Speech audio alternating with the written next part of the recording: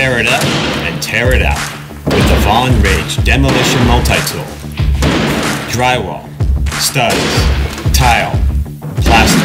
The Vaughan Rage quickly dispatches whatever stands between you and a finished job. You'll save time and money too. The Rage replaces multiple tools, including a nail hammer, sledge, pry bar, and nail puller.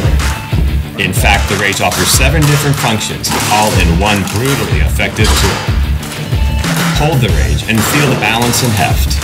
At just two and a half pounds, the Rage features strategic weight placement to multiply impact force at the point of contact.